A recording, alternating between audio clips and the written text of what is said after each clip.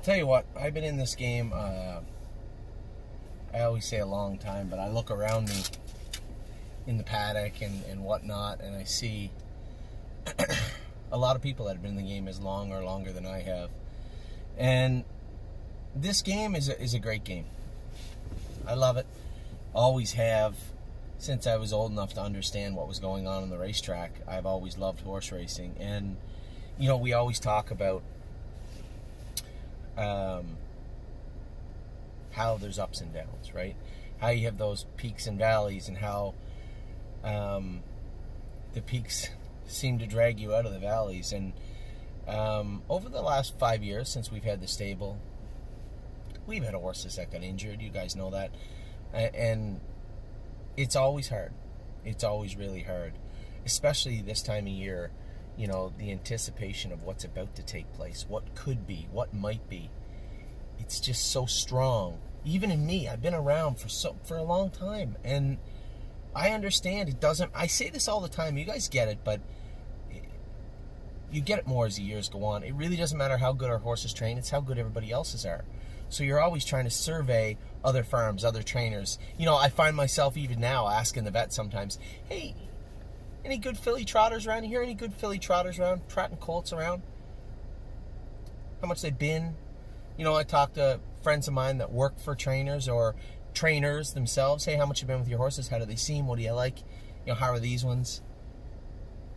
Because you, you just, you always want to know, right? You always want to know how good they could be, how good they are and then you get to the track and sometimes your heart get bro- gets broke and other times you just feel like you're on top of the world and today uh, was all that every baby qualifying day is every stake race every overnight race every fair race you're always trying to quantify how good my horse or how good my horse is compared to everybody else's and there's just that that buildup of excitement is is so strong that it's that's why we do this. That's what we love. That next win, that next good training trip, that next good video. I was so anticipating so many horses qualifying and you know aside from Wednesday just the whole day just it wasn't that the horses even raced bad it was just a just bad luck all day right you know what I'm talking about the one my heart Hanover with no hobbles on and then Path of Totality second trip with belly hobbles on, broken hobbles on That's My Girl. Just, especially the way Thursday, Friday went, take that day and just crumple it up and throw it away. Didn't happen. Thursday was so good. The Ohio horses, I was so excited. Of Tom, Voyage of Ice and Fire, and then Purple Aura came out and qualified the way she did. Just so excited. The horses Friday at Mohawk looked great. quietly, I was waiting to see one horse in particular qualify, and that was Miss Mildred. And just something about her, you know, you can never tell. Uh, and, and I don't like using names from the past. You guys know who I'm talking about. You've seen this speech or you've heard me talk about horses that are so fast. You don't know how durable they are. You don't know how tough they are. You don't know how overall fast they are. You don't know. But you want to see the indicators, right? You want to see the horse finish up strong with the bit in their mouth. I was so waiting to see this filly go today, and then James ducked her to the inside around the last turn. She was quiet before, and she was so hot in the past. I remember days when she was hot. She was quiet today, but you could tell the videos from afar, but it just seemed like she she was ready to explode you know, James kept her quiet around the last turn, ducked her to the inside, and it looks like she was just going to explode past them. I talked to him after, and he said she was just, she hadn't even hit fourth gear yet. She was just going to inhale them. He said, nice filly. And I'm speaking about her in past tense because in the blink of an eye, and this is how fragile this game is, in the blink of an eye, we lost a filly today. She didn't die. She chopped her tendon off, though, and she'll never race. She'll never see a harness again. At least if she does, it will be for a very, very long time. And I knew it. I knew it as soon as she put that step in. I knew something bad had happened, and then they showed the video, and you could see James grab her quick after the race and pull her up. I'm thinking, she break her knee? Maybe she grabbed a shoe. Maybe she hit her knee. Maybe she's fine. But I knew. So I, I called James. No answer, of course. I knew he there. Texted Johnny. I said, "Is it bad?" It was. He said, "Yeah, she cut her tendon.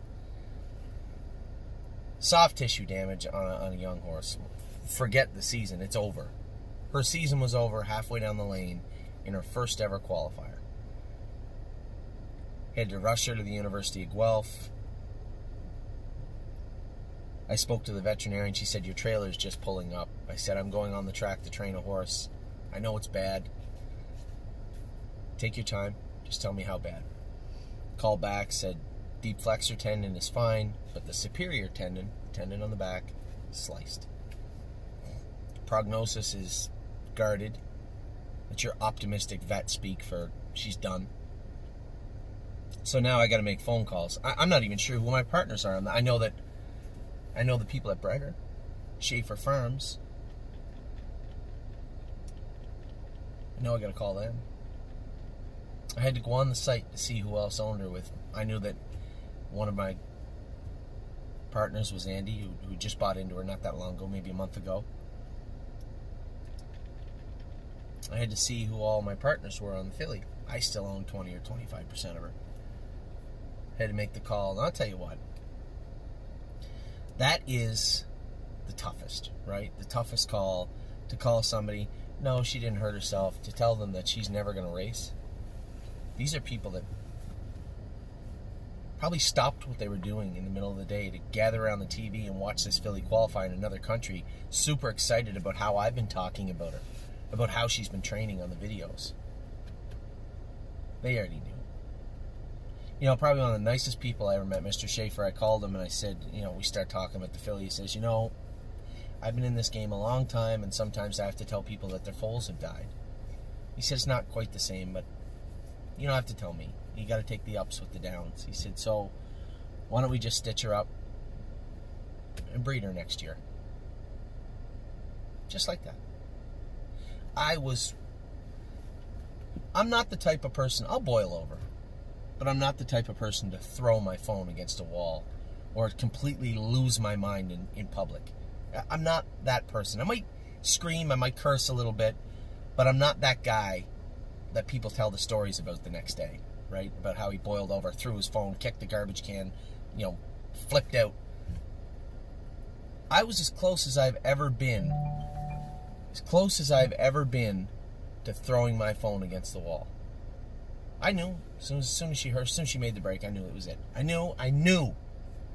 And to hear uh, Mr. Schaefer say that was, you know, I say we the nicest clients. We absolutely do have the nicest clients on earth. Spoke to the other gentleman. He says, well, if she didn't make it on the track, maybe she'll make it as a mama. I'm losing my mind and, and these people that have invested their money too. Mr. Schaefer, the Schaefer, the Schaefer family bred this mare. They kept her for a year and then sent her to us. Watched her train down, only to hear me say, "She chopped her tendon off." Johnny's almost in tears. He's heartbroken over it. Caretaker Colt loved this filly to death. You know, and they want to blame themselves. It's nobody's fault. Be no different than I walked out of this car, went to go to the paddock, and a loose horse hit me and put me in a coma.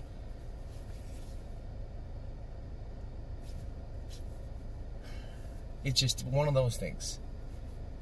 Now, I'm making this video because I've had a ton of people ask about it.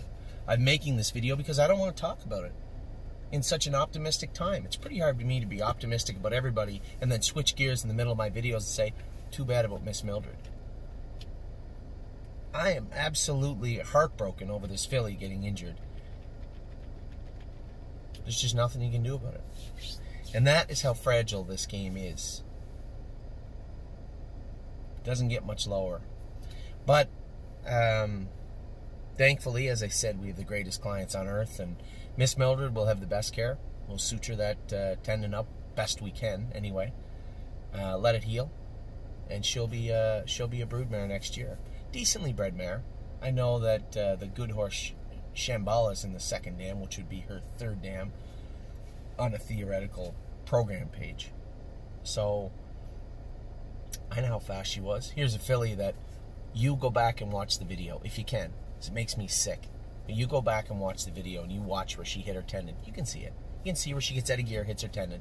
Still goes mile and two one comes twenty nine and one. James said she was gonna call she was gonna finish up twenty seven and two with a bow in her neck and inhale them.